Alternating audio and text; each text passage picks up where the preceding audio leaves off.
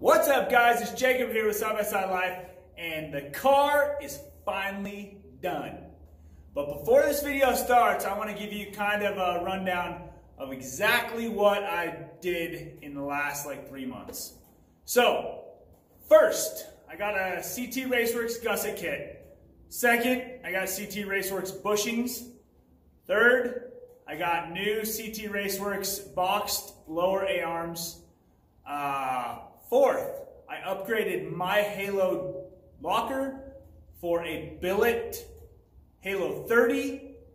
And I also got RCV 33 spline axles. So stay tuned guys. I hope you like the build. What's up YouTube? So if you watched till the end of my last video, you know that I recently got a Halo 30 in the mail. It's a full billet differential case um, with their forged cryo treated gears. So this thing's awesome. Super excited about this. It's uh, not the old school one with four pins. It's the new one with six pins.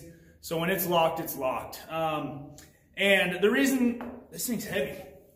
The reason I've been uh, taking so long um, kind of in between videos is because during this whole COVID thing, uh, it's kind of hard to get parts.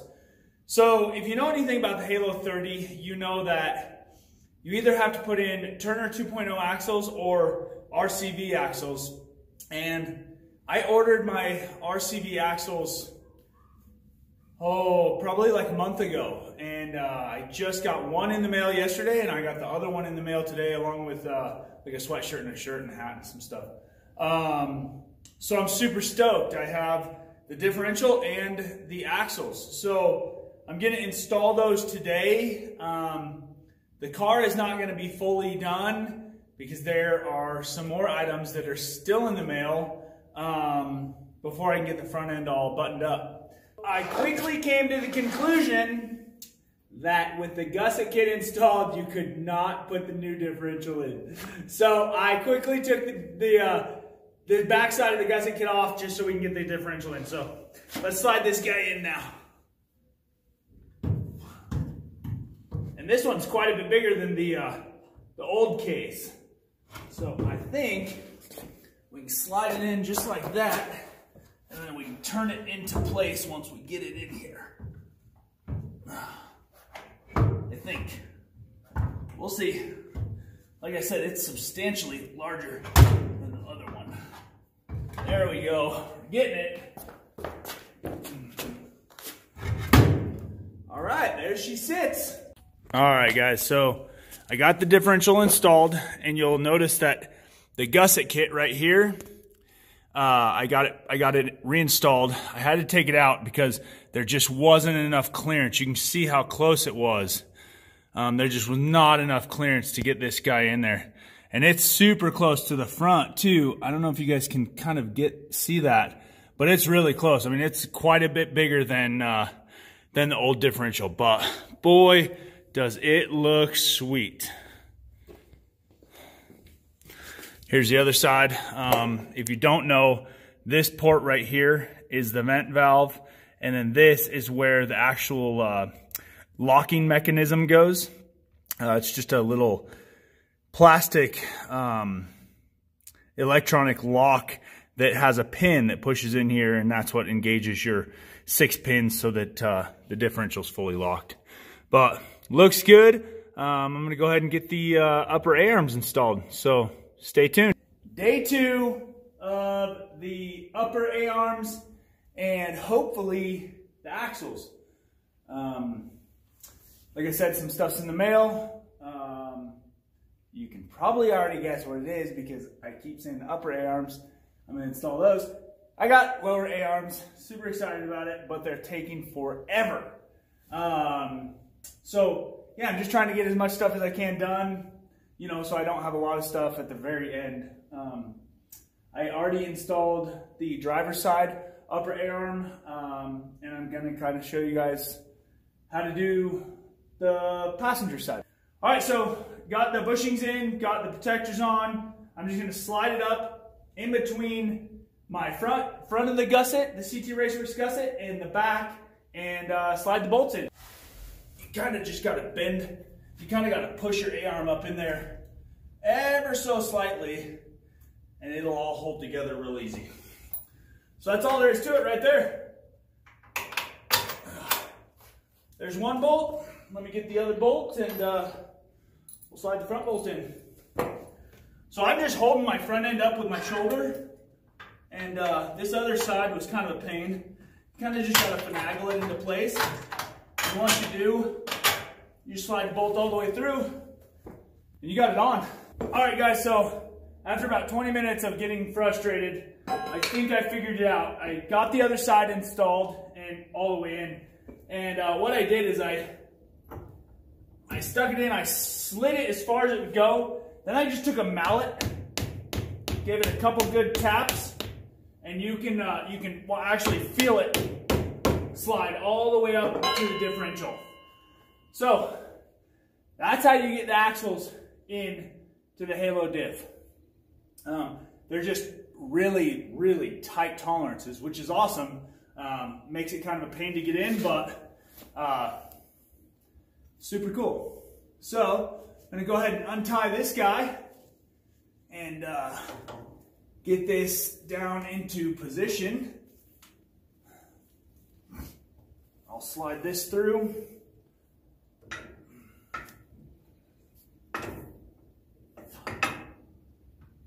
Watch your fingers when you do that. All right. Next, I'm to slide on the caliper here. All right, there we go. Look at there, piece of cake. Next is our castle nut and our washer. Gonna clean off the washer a little bit. Slide this on. And I am not gonna throw the cotter key in yet um, because I'm gonna wait until I get everything tight, everything ready to go, get the lower A-arms on, and then, uh, then I'll go ahead and make sure everything's tight. But I'll take, I'll bring you guys along. I'm super excited as to how this is turning out. It's awesome. So thanks for sticking with me, guys. Cool thing, cool news. Uh, today I got a couple boxes in the mail, uh, one of which has nothing to do with you guys, but the other one does. I got my CT Raceworx boxed lower A-arms, and they are rad. All right, guys, so I looked at this and looked at this and looked at this, and it looks to me like there's really no easy way of doing this. So, that's gonna be fun. However, I think it can be done with one person. It's just gonna be a pain.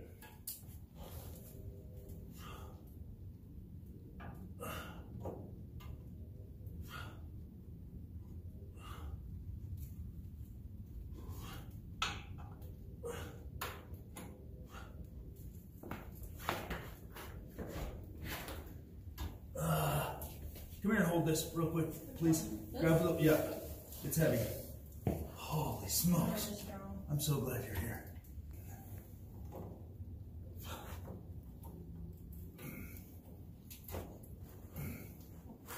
Just wait.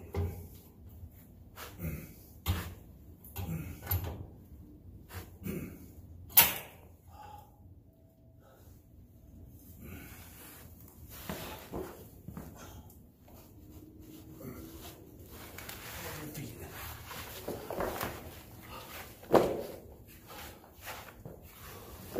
Get a hammer, stick the other end of it in there. Use it kind of as a pry bar a little bit. Just a little, just a little. Enough to get this in. There, we go. Hold that up, please. Just a little.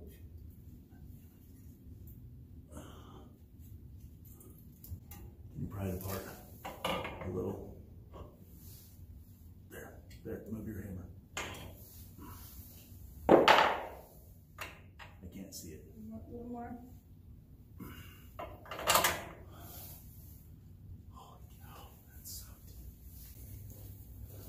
All right, so the next thing I'm gonna do here is I'm gonna go ahead and get this uh, knuckle put in where it's supposed to go. oh, I'm sorry. I said knuckle, I meant to say ball joint.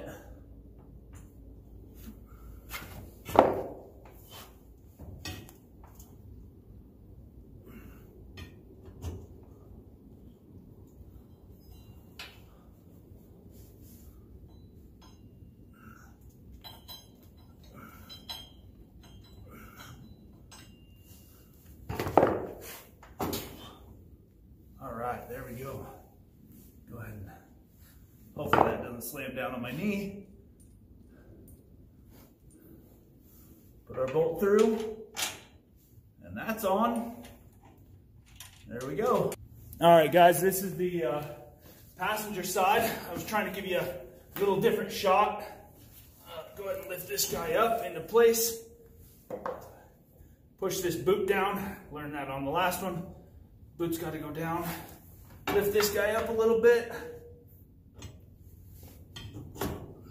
All you gotta do is give that a little shake and you're good.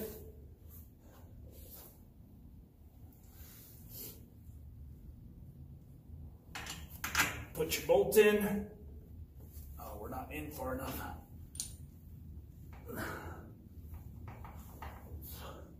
There we go. You'll know when you're in far enough because you can see the slot, um, the slotted part on the, uh, the ball joint itself and uh, the bolt goes right through there so it holds it on. All right. A-arms are installed. That is so rad. Next order of business, tighten our castle nut.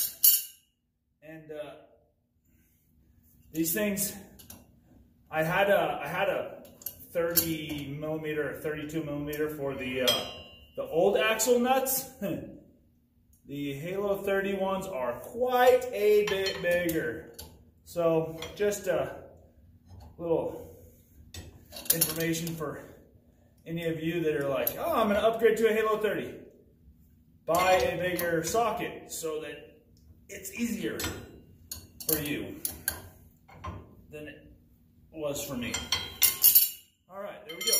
Most castle nuts, uh, you tighten them up to the, you know, you, tighten it to where you can get the cotter key through.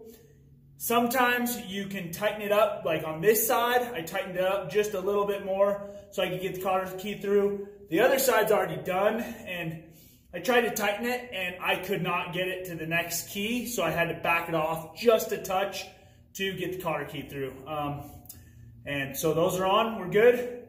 I think the next step is to uh, tighten our shock bolts, tighten our um, lower ball joints, and then we can jack it up and uh, throw the wheels on.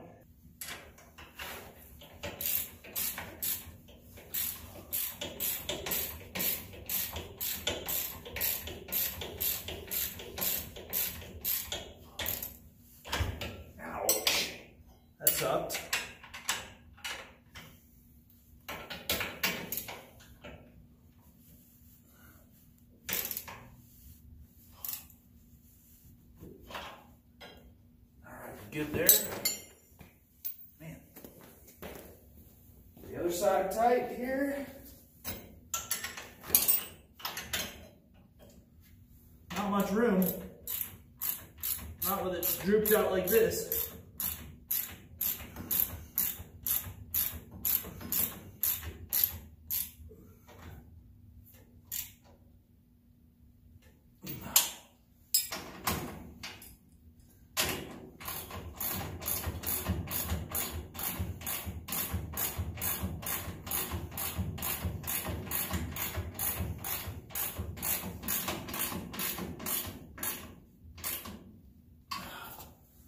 One's done. Get the other one tight real quick. Jack it up.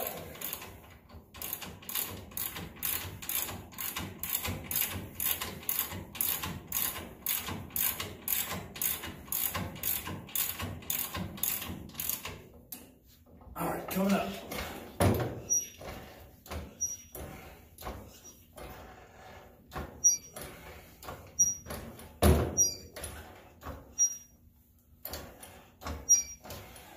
I can go ahead and throw the wheels back on. And what I'll do is I'll be able to I'll be able to adjust the tie rods so that the tires are both completely straight with the car. So that's the next thing.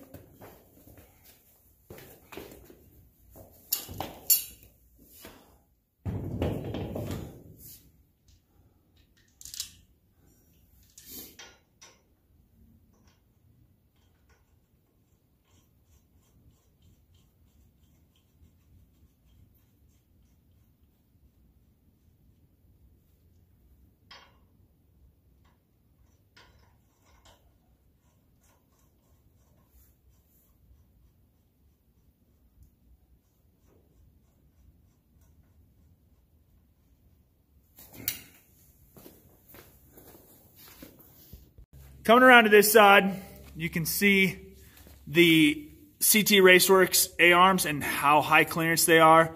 You can also see the RCV axles, way beefier than normal. And if you look down here, you can see the chromoly ball joints. So, but man, these A-arms are sweet. There's the other side. Here is my Ultra Hook uh, with the rope guard. That's the rope guard. So that's pretty rad. Coming around to this side, I'm just gonna kind of get as best view as I can. Oh, hey look, there's a rag in there. Get the rag out. That is the billet differential from Halo Lockers. That is the passenger side. Come around and give you guys a close up of the driver's side. Here's the driver's side of the Halo Locker. This is your um, locking mechanism. There's a switch in my dash that I hit and it'll lock the differential and unlock it via this. But full billet, Halo 30. Super excited, guys. And again, here's a picture of the car from the front. This thing looks wicked. The car is finally finished. It's been like two and a half or three months and it's finally all put back together. Super excited with how it turned out. Um, yeah, it's it's awesome. I can't wait to do a shakedown run. So thanks for watching, guys. We'll see you next time.